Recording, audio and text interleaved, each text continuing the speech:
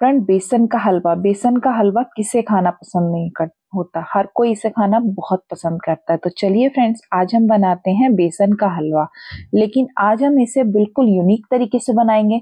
क्या आपने इससे पहले कभी ऐसे बेसन का हलवा बनाया है? आप इससे मिठाई भी बना सकते हैं। बस थोड़ा सा डिफरेंस है। वीडियो को लास्ट तक देखिए, मैं आपको बताऊँगी इससे मिठाई आप कैसे बना सकते हैं। तो फ्रेंड्स बेसन का हलवा बनाने के लिए मैंने यहाँ पर एक कप बेसन लिया।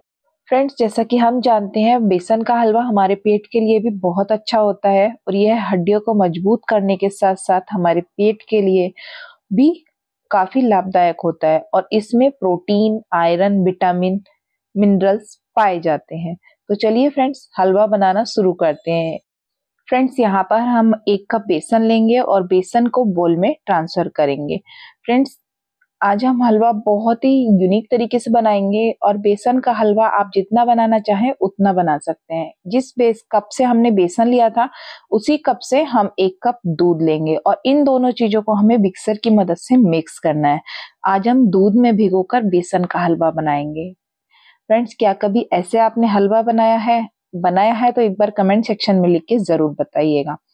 अब हम इसको जब तक मिक्स करेंगे, जब तक इसके लम्ब खत्म नहीं हो जाते फ्रेंड्स जब लम्ब्स डालने से कोई फ़र्क नहीं पड़ेगा। अगर लम्ब्स है या गुठली है तो उससे हमारे हलवे में कोई अंतर नहीं आएगा।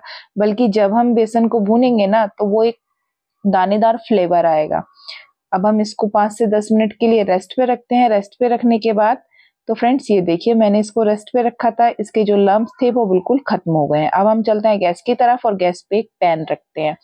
तो फ्रेंड्स ये देखिए, मैंने गैस पे एक पैन रख दिया है। अब हमने जिस कप से बेसन और दूध ऐड किया था, उसी कप से हम एक कप घी लेते हैं और घी को अपने पैन में ऐड करते हैं। फ्रेंड्स मैं यहाँ पर देसी घी का इस्तेमाल कर रही हूँ। आप चाहे रिफाइंड या कोई भी और ऑयल यूज़ कर सकते हैं, जो आप खाना पसंद करते हैं। फ्रेंड्स ये देखिए, हमने घी को हल्का सा गर्म कर लिया है। अब हमने जो मिक्स बना के रखा था, उसको हम घी में ऐड करेंगे। फ्रेंड्स आपको यहाँ पर यही ध्यान रखना है कि घी को बहुत ही हल्का सा गर्म करना है। अब हम इसे हिलाएँगे नहीं और ऐसे ही इसे कवर करके पाँच मिनट के लिए मीडियम टू स्लो आँच पे पकने देंगे। फ्रेंड्स इस हलवे की यही खासियत है कि हमें इसको बिल्कुल नहीं चलाना है। तो चलिए फ्रेंड्स पाँच मिनट हो चुके हैं। अब हम अपनी लिड को हटा के देखते हैं। तो फ्रेंड्स ये देखिए, हमारा जो बैटर था, वो अच्छे से पैन से बिल्कुल अलग हो गया है और ये सीख भी गया है।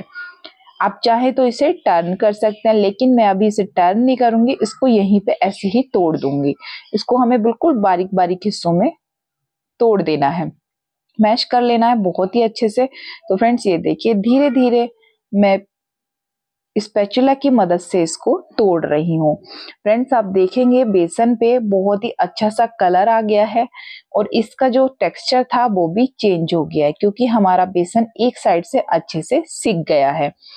फ्रेंड्स ऐसे ही धीरे धीरे करते हुए हम पूरे बेसन को अच्छे से तोड़ देंगे। तो फ्रेंड्स ये देखिए, मैंने बेसन को बहुत ही अच्छे से तोड़ दिया और आप देख रहे ना, बेसन पे एक अच्छा सा कलर भी आ गया है।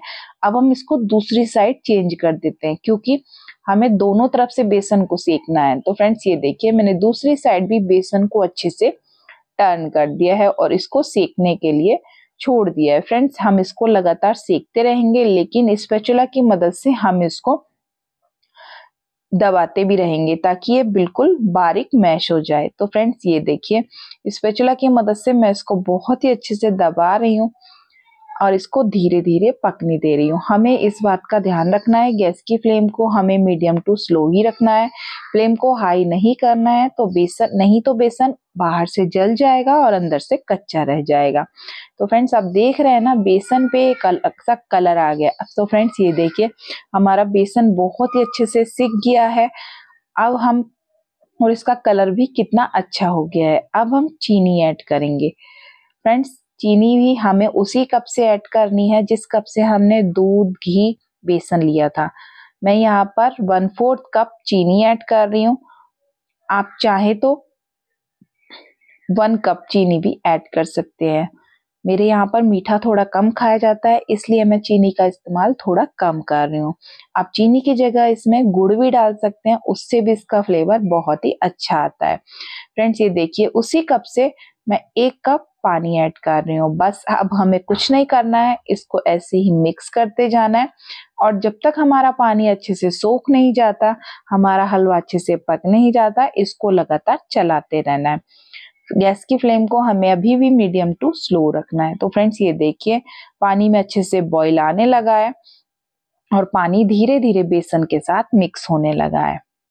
फ्रेंड्स आप चाहें तो इसमें कलर भी ऐड कर सकते हैं, लेकिन मैं इसमें कलर नहीं ऐड कर रही हूँ क्योंकि बेसन का कलर ऑलरेडी बहुत ही अच्छा आया है।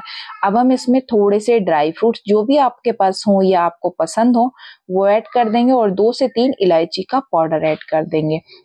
तो फ्रेंड्स ये देखिए, बेसन ने पानी अच्छे से सोख लिया है और हलवा बनके बिल्कुल तैयार है। अब आप देख रहे हैं ना, हलवा बहुत ही दानेदार बना है। ऐसा हलवा जब हम नॉर्मली बनाते हैं, तब नहीं बनता है। तो फ्रेंड्स यही तरीका था और यही बहुत ही बेस्ट तरीका है दानेदार हलवा बनाने का। अगर आपको इस तरह से मिठाई बनानी है तो आप क्या कीजिए, अभी इसमें थोड़ा सा मॉइस्चर है, आप इसको बिल्कुल सुखा लीजिए। ये पैन को छोड़ने लगे, तब आप इसको एक प्लेट में घी लगाकर जमा दीजिए तो आपकी मिठाई बनके तैयार हो जाएगी। तो चलिए फ्रेंड्स हलवे की प्लेटिंग करते हैं, एक बोल लेते हैं और इसमें अपने हलवे को सर्व करते हैं। फ्रेंड्स ये हलवा खाने में इतना टेस्टी लगता है। जब मैंने ये पहली बार खाया था तो मुझे भी पता ही नहीं चला था कि ये दाल का हलवा है, या बेसन का हलवा है। यहाँ बेसन का हलवा बिल्कुल दाल के हलवे जैसा टेस्ट हो, देता है। जैसे राजस्थान में गुलाब हलवा मिलता है ना, उस तरीके से इसका टेस्ट होता है। खाने में बहुत ही टेस्टी लगता है। आप इसे एक बार ज़रूर बनाइए। कमेंट करके लिखिए कैसा बना। और आपको खाने में कैसा लगा।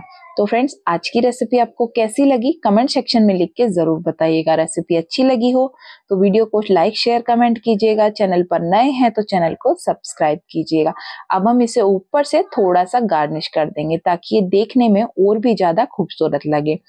तो फ्रेंड्स कल फिर मिलते हैं एक नई रेसिपी के साथ। तब तक के लिए थैंक यू बाय खाते रहिए, खिलाते रहिए, मस्त रहिए और इन बरसात के मौसम में बेसन के हलवे का लुफ्त उठाते रहिए।